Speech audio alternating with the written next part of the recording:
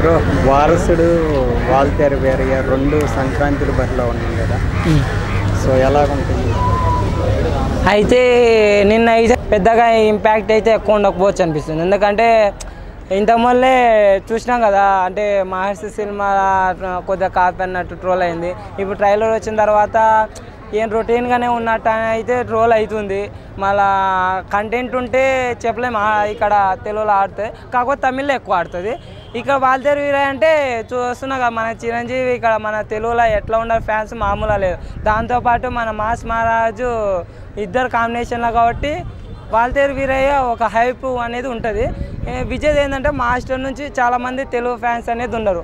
అయితే కంటెంట్ బాగుంటే ఫ్యాన్స్ అనేది ఎక్కువ చూస్తారు. కాకపోతే ఎక్కువ శాతం అయితే వాల్తేరు వీరయ్య మొత్తం ప్రిఫరెన్స్ కంటెంట్ మళ్ళీ ఎట్లా ఉందో ఫైట్స్ మ్యాక్సిమమ్ నైంటీ పర్సెంట్ వారసి కంటే కాల్తేరు వీరైనా ఎక్కువ చూడడానికి వీలుంది. ఎందుకంటే ఆ మాస్ మహారాజు మన మెగాస్టార్ అసలుకి ఆ ఫైట్స్ ఆ డ్యాన్స్ ఆ లుక్కులు అనేటివి చూడాలనుకుంటే పక్క మూవీకి పోయి పక్క ఆ రోజు పండగ చేసుకొని మంచి వాతావరణం అందరు హాలిడేస్కి వచ్చి సినిమా అయితే ఫస్ట్ అది చూస్తారు.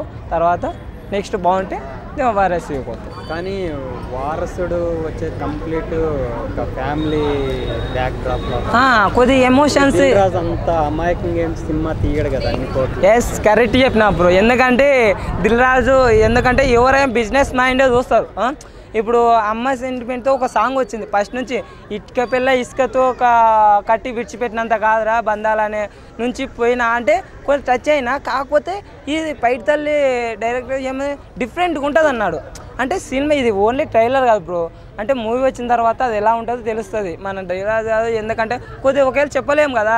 ఒకవేళ ట్రోల్ చేస్తే కూడా హైప్ కొద్దిగా వేరే లెవెల్లో పోతాయి ఇప్పుడు ట్రోల్ చేసినారనుకో ఎంతో మందికి రీచ్ అవుతుంది.